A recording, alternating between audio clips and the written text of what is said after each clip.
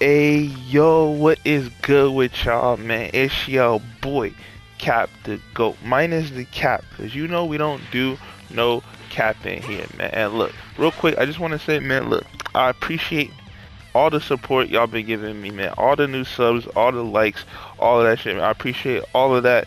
If you're new to the channel, please sub up, you know what I'm saying? Roll to that 1K. I've been uploading every single day, sometimes twice a day. You feel me? So if you enjoy the content, if you like this video, if you, this video helps you to do the side switch, you know what I'm saying? Just leave a like, leave a comment, you know what I'm saying? Say I helped you. And uh, yeah, let's get into it. So I'm actually do this live because this is actually like not easy to do.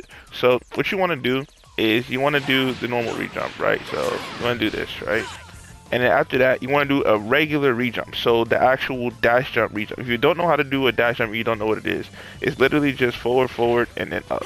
So literally just forward, forward, up, like that. I'm gonna show you all real quick.